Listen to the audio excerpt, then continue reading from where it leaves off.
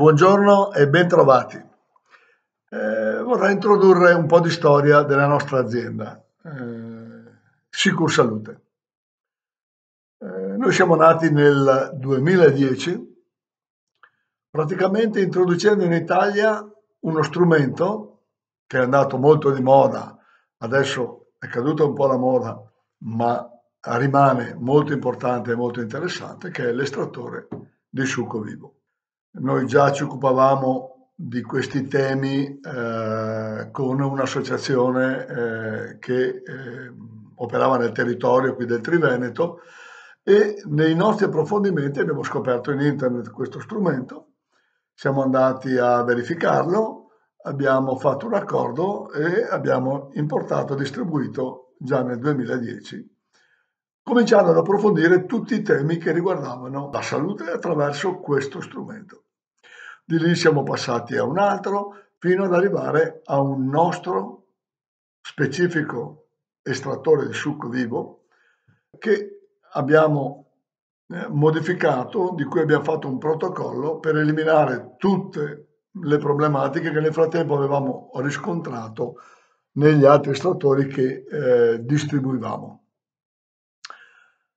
Però non, non ci siamo mai accontentati. Abbiamo ampliato la gamma, siamo andati a importare anche altri strumenti, fino a, a, a incontrare un'azienda svizzera estremamente all'avanguardia nel settore energetico, nel settore eh, delle energie propriamente dette.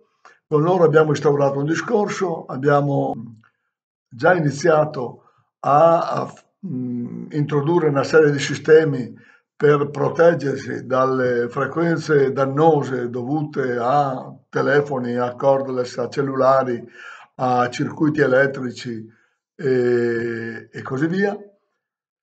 E in questa discussione eh, è uscita un'idea straordinaria, quella di creare un generatore di frequenze vitali molto potente da inserire sulle nostre apparecchiature.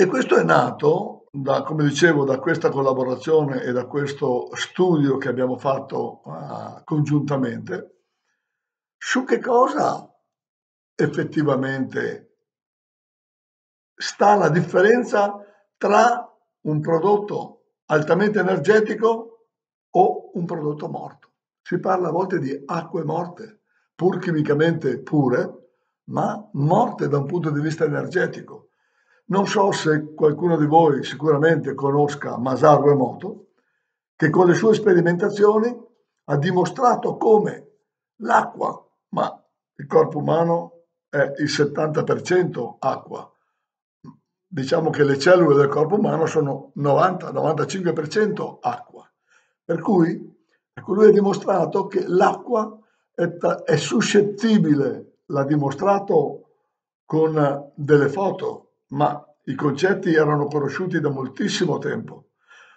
Come l'acqua, dicevo, è suscettibile nell'assorbimento di tutte le informazioni che la circondano. Informazioni. Quindi l'energia, che è vibrazione, è informazione.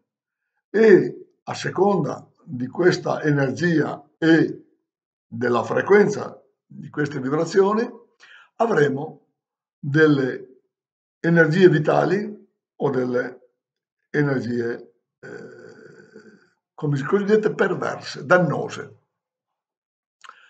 Bene, e quindi eh, abbiamo sviluppato questo, questo sistema in un prodotto che abbiamo chiamato Gold Disk.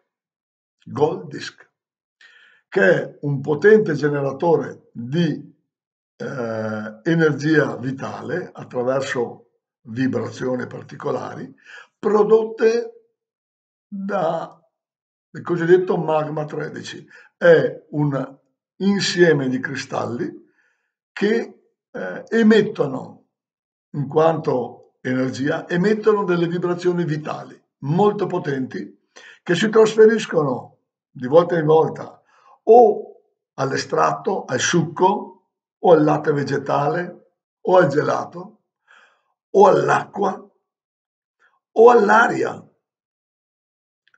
E che in altro modo possono essere eh, utilizzate per proteggerci da frequenze dannose, le quali vengono riarmonizzate, cioè portate a un livello vibrazionale compatibile con la vita, con la biologia del corpo umano e quindi ridiventare benefiche piuttosto che dannose.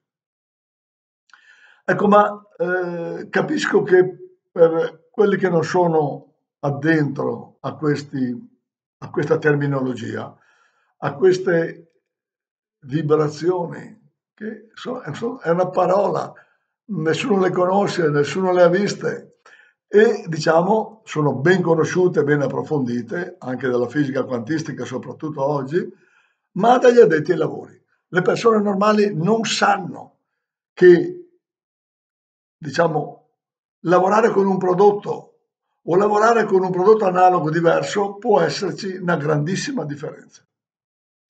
Una grandissima differenza nel processo e nel risultato, cioè nella qualità di ciò che si estrae dal processo. Bene, quindi vorrei un attimo cercare di chiarire questo argomento eh, dando delle informazioni magari anche semplici, ma per poter capire e interpretare poi quello che eh, potremo dire in relazione agli strumenti che adoperiamo e ai risultati che possiamo ottenere.